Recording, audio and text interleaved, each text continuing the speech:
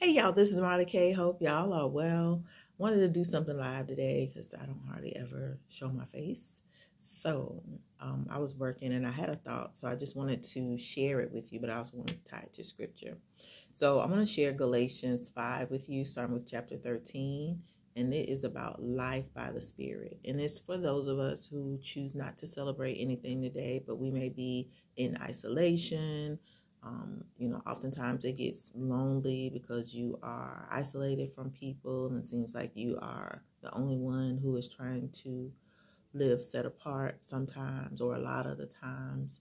So I just wanted to know, I wanted you to know that um, I identify with you. Um, I experienced the same thing, and you know, holidays used to bother me, but they don't bother me anymore because I, I understand that I'm different. I think different. Um, I have strong convictions and um, I'm okay with that. So, you know, for those of us who are new and it's a little, um, you know, um, isolating or lonely, I just want you to know that you are not alone. We are, there are a lot of us out here just by ourselves, twiddling our thumbs and being rebellious all by ourselves, but we are here. Um, and we also understand that we are not free yet. We are in um, the land of our captivity. And so we must be vigilant, but we also must work for independence. It doesn't come um, without a fight. And so I wanted to share some ways that I believe that we could become, we could begin to work on becoming independent until um, our supernatural deliverance comes. So um, I'm going to start with Galatians 5, chapter 13, and I'm reading from the New International Version. So it says, You, my brothers and sisters, were called to be free but do not use your freedom to indulge the flesh. Rather, serve one another humbly in love. For the entire law is fulfilled in keeping this one command. Love your neighbor as yourself. And that, that don't mean everybody. It means Israel. It means us. So for our people, we need to learn how to love ourselves um, and our neighbors. So, you know, I, I think this is fitting with all the strife amongst our community, amongst our nation in particular. So, um, you know, it's something that we should remember today. If you bite and devour each other, watch out, or you will be destroyed by each other. And that's what's happening to us now. Um, you know, you look at the man versus woman war. We got the war on the youth. The youth are out here killing each other. So this is what's happening to our community now. And so we need to remember as we think about freedom not to squander all the opportunities we have to get things right. So I say, this is uh, verse 16. So I say, walk by the Spirit, and you will not gratify the desires of the flesh. For the flesh desires what is contrary in uh, to the spirit, and the spirit what is contrary to the flesh. They are in conflict with each other, so that you are not to do whatever you want. But if you are led by the Spirit, you are not under the law. The acts of the flesh are obvious sexual immorality, this is uh, 19 the acts of the flesh are obvious sexual immorality, impurity, and debauchery, idolatry and witchcraft, hatred, discord, jealousy, fits of rage, selfish ambition, dissensions, factions, and envy, drunkenness, orgies, and the like. I warn you, as I did before, that those who live like this, this will not inherit those who live like this will not inherit the kingdom of God. But the fruit of the Spirit is love, joy, peace, forbearance, kindness, goodness, faithfulness, gentleness, and self control. Against such things there is no law. Those who belong to Christ Jesus have crucified the flesh with its passions and desires. Since we live in the Spirit, let us keep in step with the Spirit. Let us not become conceited, provoking, and envying of each other. So, you know, as people go out and about today practicing their idolatry to their um, flesh, uh, let us have a different mindset of what freedom can be and what independence this this day can be used for something good. So, um, I hate to turn their days into something good, but when it's concerning independence and and us being in captivity, I think we really do need to have a change of mindset. So, I had five points that I wanted to mention about independence and how we could free ourselves from this um, system. So, as a part of coming out of her, my people, um, the first uh, bullet that I had is mental independence. We need to become mentally free from this system. And that's difficult for a lot of people. I know a lot of people are straddling the fence. You know, I got to work, but I want to be free. I have these ideas. I got these things that I want to do, and I know I'm supposed to occupy until, but I want to do these things. But I know I'm supposed to be coming out of her. And so a lot of us struggle with coming out of this system. So, um, you know, we need to to come to terms with things are changing in this system, and we're going back into a captivity, um, a different type of captivity, but it's a captivity, no doubt. And so we need to prepare, and part of that preparation begins mentally. So once you begin to prepare mentally, then you can do all the other things on this list. So, number two, I have food independence.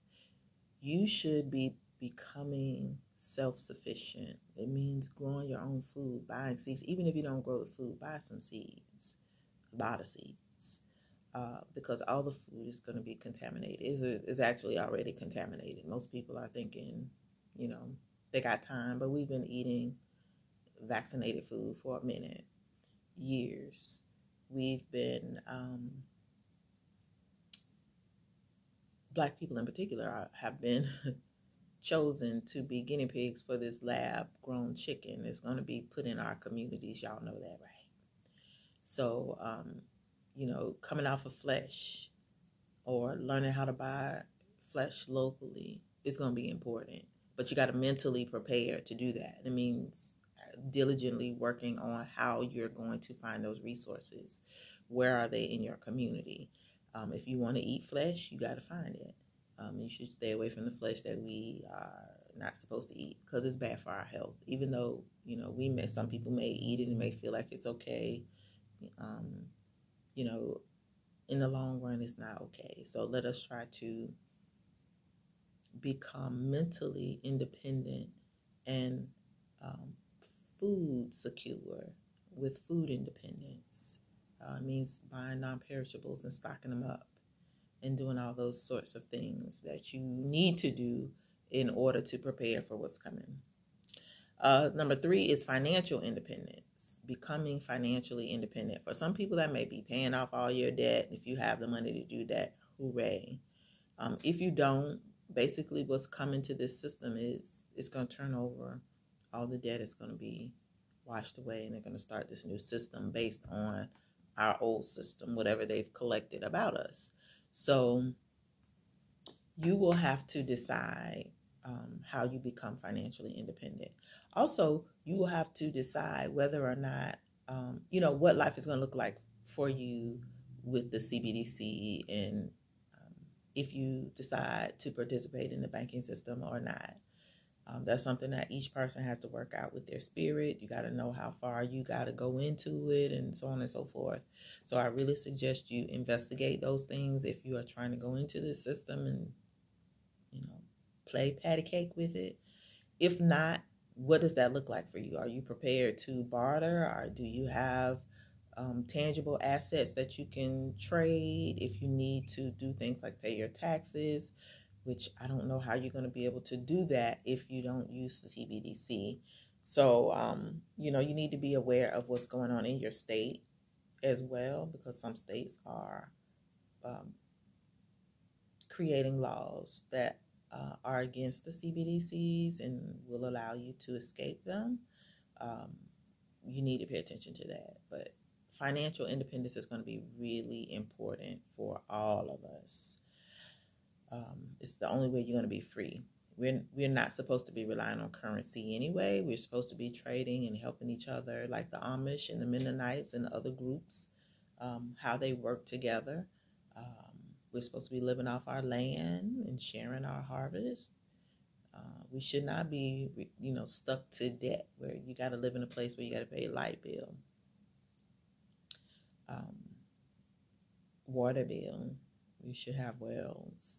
So you know, we we lived a simpler way when we were not here. We were taken away from that, and so now we are living in ways that we are bound by debt. How do you get out of that? How do you get rid of television? Stop watching television. How do you get rid of the internet? You know, we don't really need the internet. We lived for centuries without the internet. We don't have to have it. It's just a luxury. Um, you know, same with lights. We we didn't have power I, I, I can remember my great grandfather didn't have power.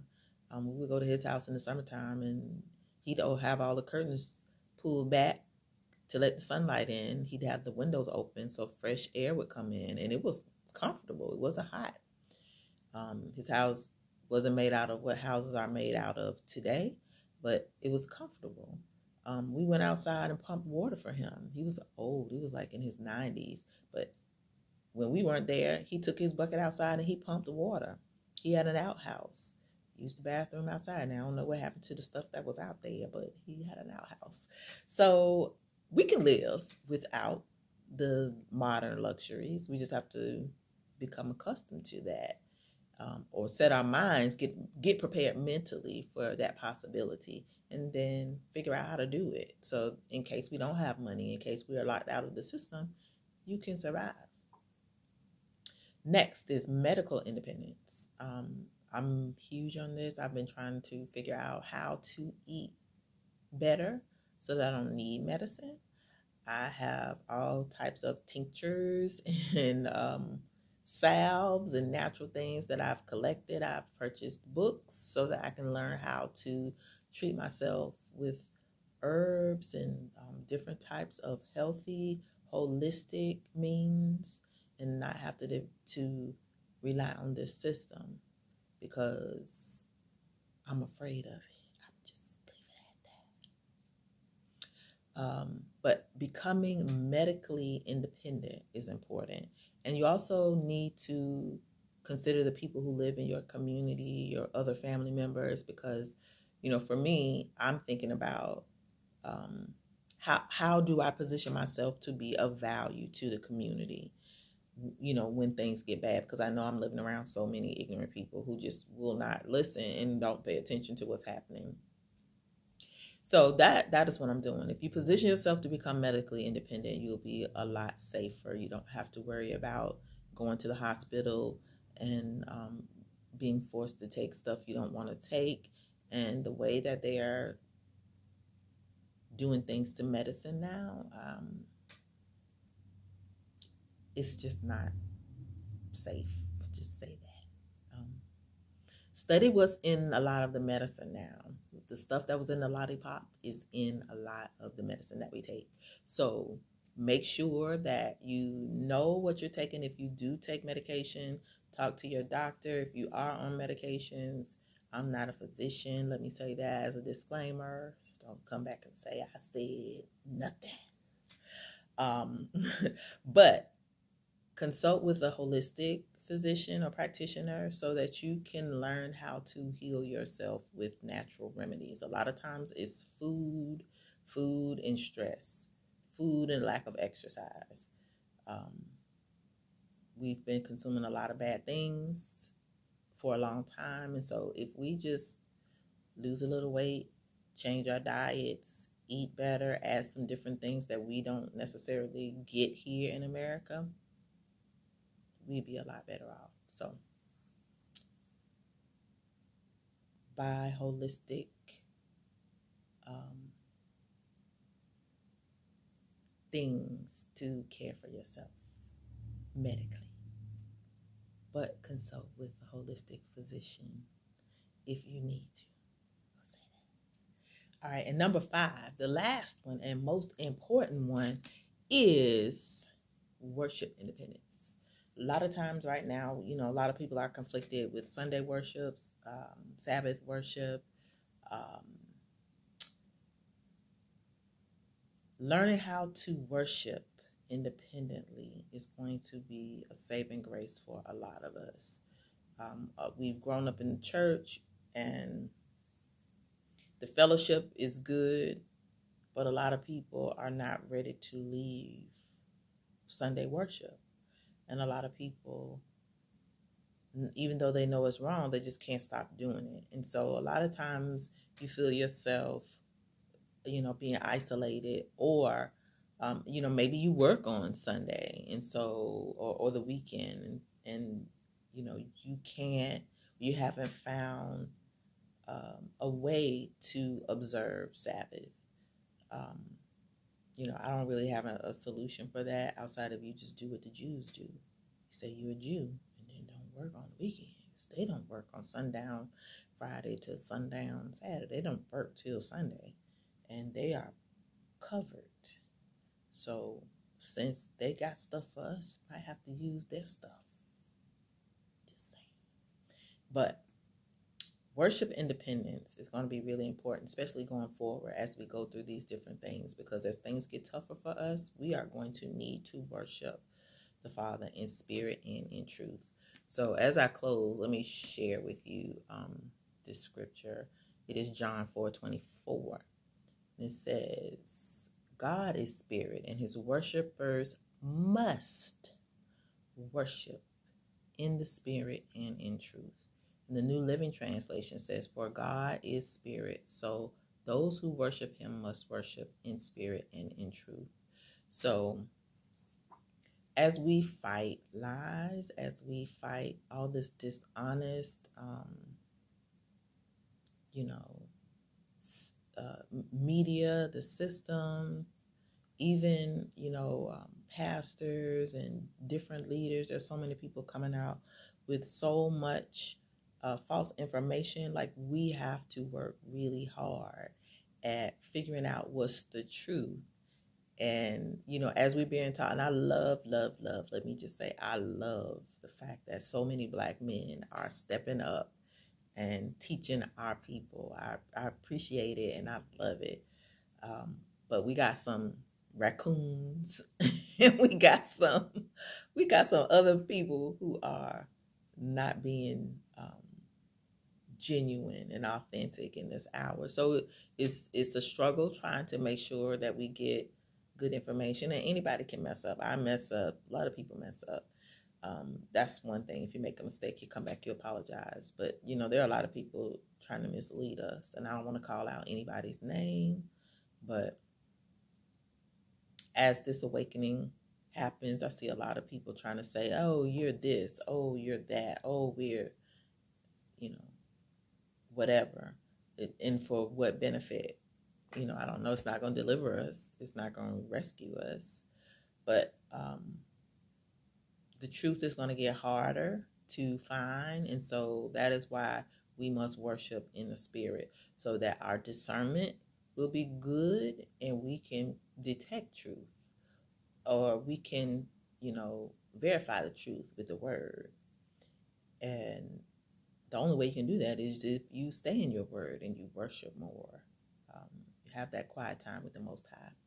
So, you know, for me to become independent of this system and try to live in a world within a world, I, you know, these are some things that I just thought about as I was outside working today, and I was like, you know, None of this is easy. Let me tell you, because I showed y'all bald head acres. That's my guard. That's what I call my guard. And she is not doing good.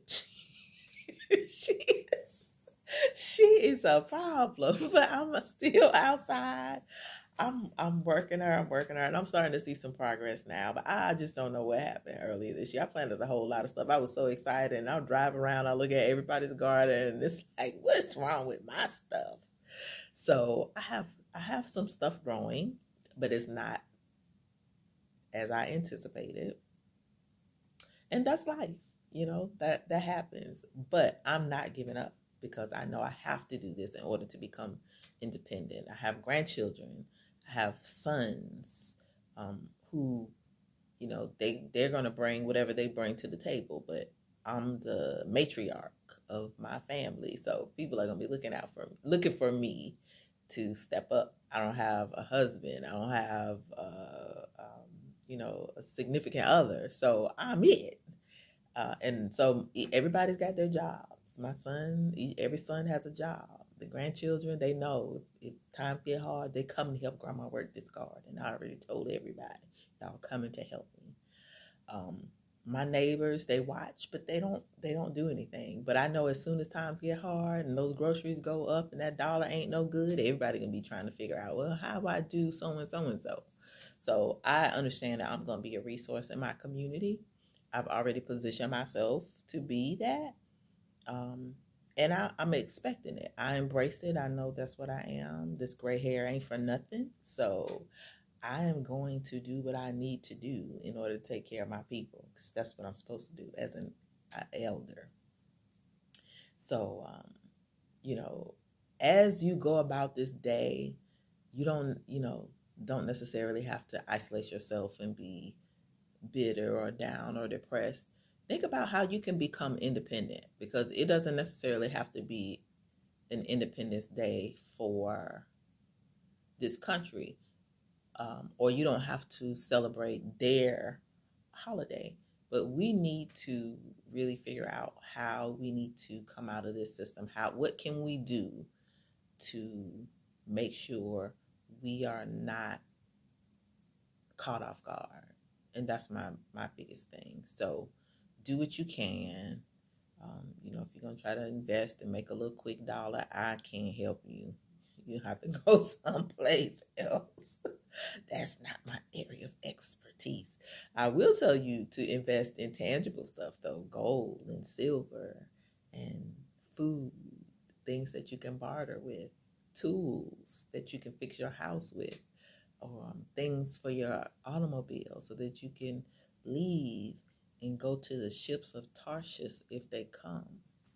Um, you know, have water reserves, uh, water purification stuff just it's just so many things that you can be doing to position yourself to become free of this system. So when people are caught off guard you're not. So that's all i got people. Y'all enjoy your day off. If you're off if you're working work hard work blackety black black black black black. Um i'm going outside and garden some more.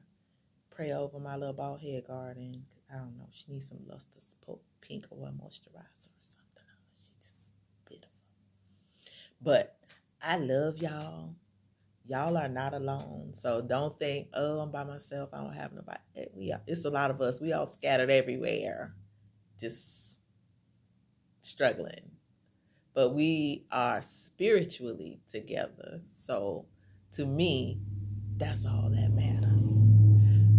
We gonna make it we're gonna make it. It's gonna be tough, but we're gonna make it. We were built for this time. So for those of us who are awakened, y'all keep on doing what you do. Become independent because we're gonna need to be independent. These folks got us trapped. And we just gotta be ready for most high when he comes to get us. Um, that's all I'm waiting for. But in, in the meantime, you gotta be ready. So let's work on being ready so we can be independent from the system whenever it fails us again. All right, this is Marley K, and I am out.